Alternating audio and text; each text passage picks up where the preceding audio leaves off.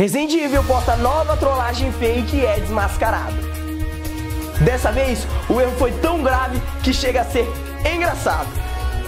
Tudo isso e muito mais, você confere agora.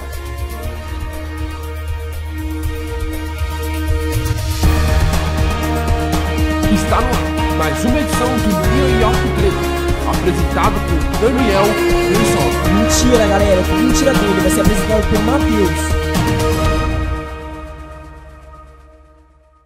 Opa, gente, Matheus Versosa diretamente do New York Treta com nova notícia no ar. O Resident Evil postou mais uma vez uma trollagem fake. Opa, um momento, peraí, o diretor tá falando aqui comigo.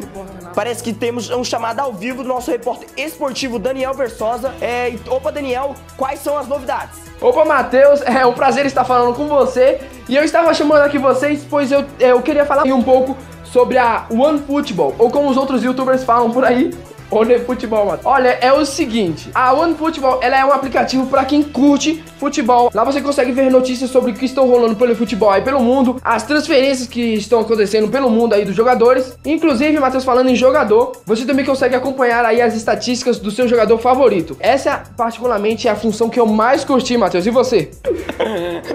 Olha, Daniel, o que eu curto bastante nele é a parte das notificações. Às vezes não dá pra mim assistir o jogo e a One Football me avisa quando sai algum gol. É verdade, Matheus. E só pra finalizar aqui, Matheus, outra coisa que eu achei da hora no aplicativo é que dá pra compartilhar as notícias. Então, se acontece alguma coisa ruim com os rivais aí, dá pra você zoar seus amigos compartilhando as notícias no WhatsApp, no Facebook. E tem um jeito muito simples que basta você tocar na notícia por uns dois segundos aí e abre um menu pra você compartilhar no, nas suas redes sociais. Além de tudo isso que nós falamos, a OneFootball oferece muitas outras funções. E pro pessoal que curtiu o aplicativo e quer instalar, é bem simples e completamente completamente gratuito. Basta pesquisar por OneFootball na Play Store ou na App Store. E se você quer mais moleza ainda, na descrição deixaremos um link para você baixar o aplicativo. É isso, Matheus. Volto com você aí dos estúdios. Meu Deus, quer moleza?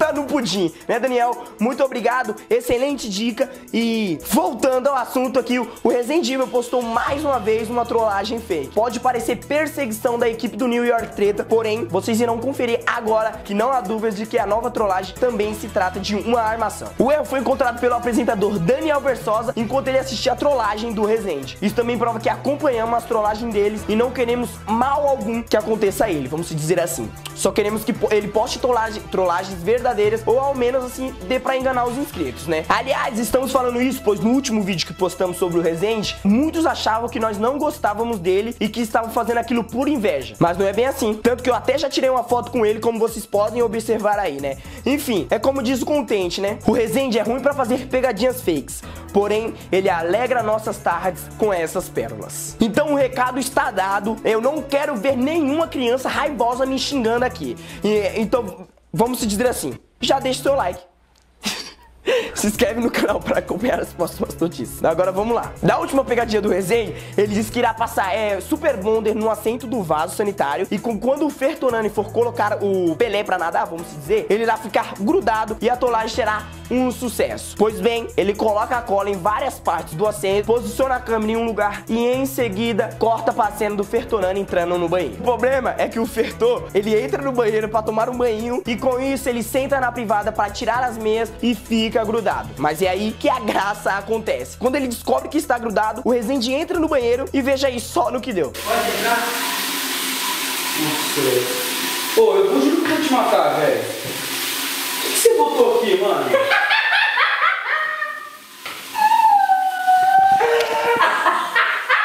Por acaso vocês conseguiram reparar? Vamos colocar mais uma vez apenas o trechinho mágico.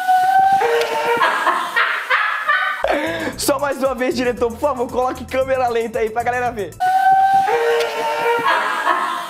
Então é isso. Quer dizer que o Fertor ele ia tomar banho com o cameraman dentro do banheiro? Pra quem não reparou, quando o Resende entra no banheiro, o cara que segura a câmera já estava lá dentro. Tanto que ele pegou a câmera e filmou o Resende. Meu, ele é um palhaço. E dessa vez, você que é inscrito do Resende, acredita que é fake ou realmente o Fertonani toma banho com câmera dentro do banheiro? Acha que ele está lá pra proteger o Fer do invasor da casa? Deixa sua opinião aqui nos comentários. Eu particularmente acredito aqui na última opção, que é a mais, vamos dizer assim, convincente. Vai lembrar mais uma vez que nossa intenção não é denegrir o Resende e sim zoar da situação. Não se esqueça de deixar o seu gostei e de se inscrever no canal para acompanhar as próximas notícias. A edição do New York vai chegando ao fim. Ficamos por aqui. Falou!